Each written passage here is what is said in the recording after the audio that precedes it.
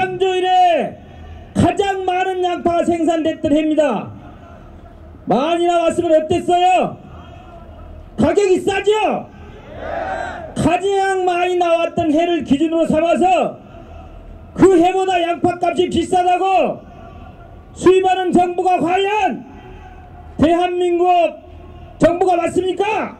지금 현재 우리나라의 양파 양파망 그 인원이 그 우리가 정부에서 수입이 들어오는 게 하, 있단 말입니다. 실제 있는데 그것을 더 이상의 수입을 하고 나면은 우리가 양 양파 한 망에 지금 올게가 우리가 산지에서 판매하는 게 13,000원 선인데 13,000원 선에서 그 정부에서 지금 자체에서 그걸 많은 수입을 해가오면은 다운된단 말입니다. 그러면 그 원가, 원가가 한 망에 지금 6,500원이 치거든요, 우리한테. 그러면 우리는 지금 현재 그게 너무 그 아, 이익이 많다.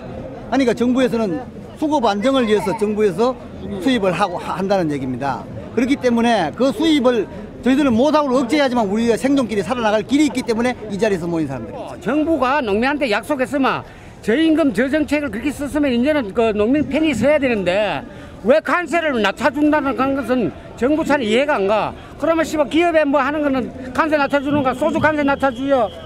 그 촌놈들 소주 한 병에 관세를 내는데 그래. 담배 관세 안 낮추잖아.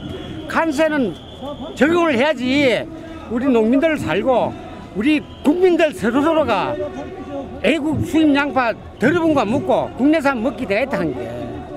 이 양파가 모질러 하는 게 아니라 이게 양파 가격이 가격이 안 좋았는데 요즘 근래 좀 좋아질라 하니까 물가는 다 올라가고 양파가 안 올라가는데 올라 좀 올라가려 하니까 수입을 왕창 했다 이 말이에요. 그러니까 우리는 왕창 손해가는 거 아니냐 이 말이야. 농민이 시간까지 일해갖고 그래 남는 게 있어야지 남는 게 없는데. 그래 억울하니까 올랐다 이 말이야. 올라 올라가지고 뭐 어떻게- 높은 놈들이 좀 듣더러. 정부에서 어떻게 해줬으면 수입을 중단하고 양파값 좀 올리 올리 올리래 올리고 농 농산물 가격 좀 올리고 살수 있도록 해달라 이라 지금까지 어려운 농사 어려운 이 환경 속에서 계속 농사 시간까지 고생만 하고 해지는데 수입이 없다 이거 수입이. 우리 농민 다 죽이는 이명박 정권! 심판하자!